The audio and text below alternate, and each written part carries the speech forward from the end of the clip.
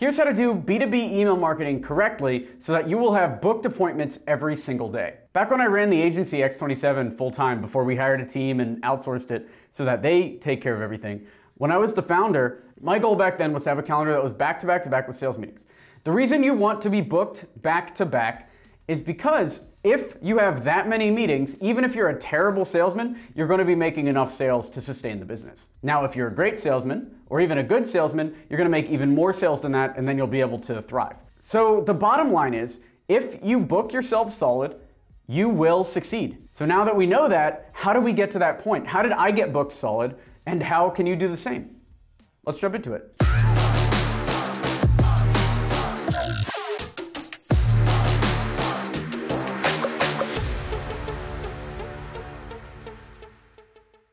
This video is brought to you by Email 10K. Learn how to book meetings with billion dollar brands and take your company to the next level at email10k.com. The first thing you want to do is send 100 cold emails per day without fail. Now, if you know anything about my story, you know that cold email was what took us over the top in the agency. Within the first 30 days of sending cold emails, we were able to book $400,000 in business. We actually have a video of me sending cold emails and making $10,000 on the spot. So cold email is what I love. And the problem with most people that try it is they'll dip their toe in the water of cold email. They might send two emails and then never send another cold email again. Or even worse, they'll send 100 cold emails one week, book enough business to set themselves up for three months, and then wonder in three months why their company's failing. So what I like to do consistently is send at least 100 cold emails a day. That'll give you enough data so that you can test moving forward. And also on top of this, follow the process. I'll link down below to our checklist. Make sure to follow this process for improving your emails as well, because what you wanna do is send 100, look at the open rates. If the open rates are too low, change the subject line. If the open rates are fine, change the body of the email. Basically, you never wanna send the same email two times on a test. So on Monday, if you're testing subject lines, then on Tuesday, you should test a different subject line to see if that changes the open rate. And if you're testing one body on Monday and the same body on Tuesday with a different subject line, as soon as you get the open rate to a certain spot, you should test a different body on Wednesday, etc. You always want to be testing, always want to be improving, and more importantly, you consistently want to be sending. I would rather you send 100 emails a day and not change a thing on these tests than send nothing. Action is better than inaction. But in an ideal world, you're changing and testing every single time because what you want is the ultimate cold email. And you can start with some of our frameworks. We actually have a couple videos on the ultimate cold email framework that you can check out. But ideally, you want a rock solid cold email that works for your business and that generates meetings. And the way to do that is by sending 100 cold emails a day, testing and changing every time. And if you want more detail on the exact process we use, check out Email 10K. It goes over it exactly. The second thing to keep in mind is when you're sending these emails, pitch for an appointment.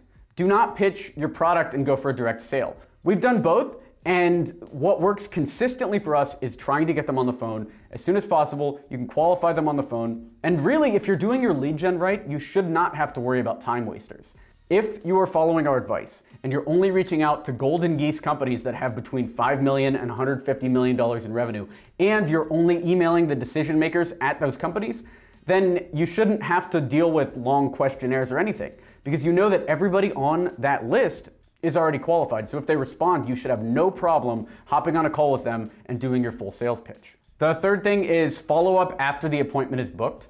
I like to send an email like this the day of the appointment. I'll say, "Hey Mark, look forward to our call today at 1:30 p.m. EST." That's it.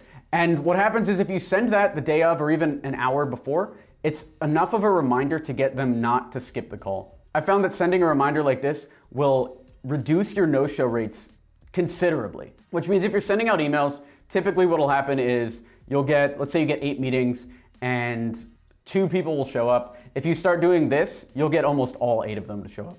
The other thing is once the meeting is on the calendar, it's the set time. If they do not show up immediately, stay in that room at least five minutes, if not 15 minutes, you can watch YouTube or whatever while you're waiting for them, but give them some time to show up. I'll also send an email and call them on the appointment time. So if it's a Zoom call, I'll add them to Zoom and have Zoom call them to try to add them.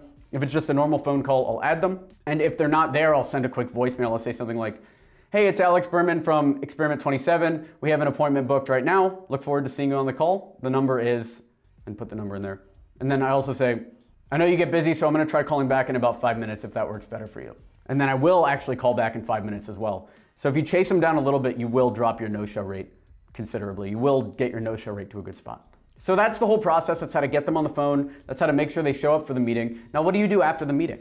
Typically, the first call, and we actually have an outline for what the first call should look like. It's called the discovery call. It's mostly you asking questions about their business, and I try to treat them like a consult. Like I'm sitting there diagnosing their issues like a doctor. So I need to know all their symptoms. I need to know all the questions I need to ask in order to put a real proposal together. At the end of that call, at the end of that call, I typically price check them to make sure that they can afford us. So I'll say, all right, great.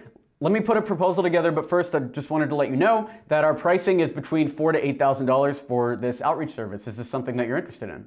And then if they say yes, now you know they're already price checked, so you're good to go. The deal is yours to lose at this point. They've agreed on the pricing and you've already done a discovery call. The deal is yours to lose. So then I'll say something like, all right, let me put all this together. I can send it to you in bullet points, unless you're ready to go right now. Do you want to sign up right now? And sometimes they'll say yes. That is an example of just throw that closing question out there, see what happens. And if they say no, they need more information, then I will say, all right, let me put a proposal together. How are you to go over that Thursday at 2 p.m.? Let's say it's Monday, I'll try to do it a couple days later. Keep that momentum going. If they want to buy, they want to buy right now. They don't want to buy in three months or six months. So you want to have the sales calls as close to each other as possible, even same day. Let's meet Monday morning and I'll send you a proposal and we can review the proposal Monday at 5 p.m. and then we'll go. That's the type of urgency you want with your clients. You want them to sign, and they will sign four to eight thousand dollar deals as long as they have the budget when they're talking to you. They will be able to make that decision, and waiting three four days will just slow everybody down. So that's how to get your calendar booked every day. If you want this in excruciating detail, every single step of the way, including examples of us doing this with real clients, check out email10k.com. Everything is in there, step by step by step, our entire system for how to book your calendar solid with B2B appointments every single day. This video is brought to you by Email10k. So you don't have a business idea, huh? Do you want to know what the best business to start is, regardless of market conditions? Check out the free presentation at email10k.com. We have over 200 students that are crushing it using this business strategy, even during this time.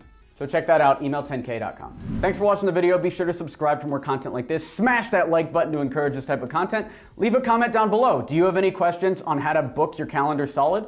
Let's talk about it. And thanks for watching. I'm Alex Berman. Subscribe to this channel for more content like this, and I will talk to you soon. Thanks for watching. I'm Alex Berman.